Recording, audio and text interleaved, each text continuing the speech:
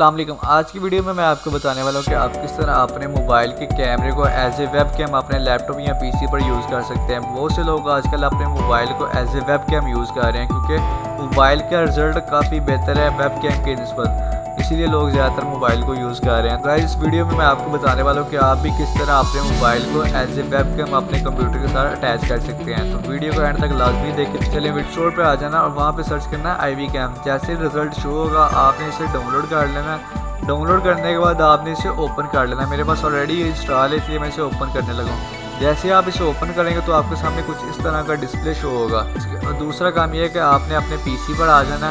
और पीसी पर आने के बाद एक और एप्लीकेशन डाउनलोड करनी है। उसका लिंक मैं डिस्क्रिप्शन में दे दूँगा। आपने उस लिंक के ज़रिए उस एप्लीकेशन को डाउनलोड कर लेना है और इंस्टॉल कर लेना है। इंस्टॉल करने के बाद ओपन करेंगे। ओपन करने के बाद बिल्कुल उसी तरह का डिस्प्ले आपके सामने शो होगा, जिस तरह आपके मोबाइल की एप्लीकेशन के ऊपर हो रहा था।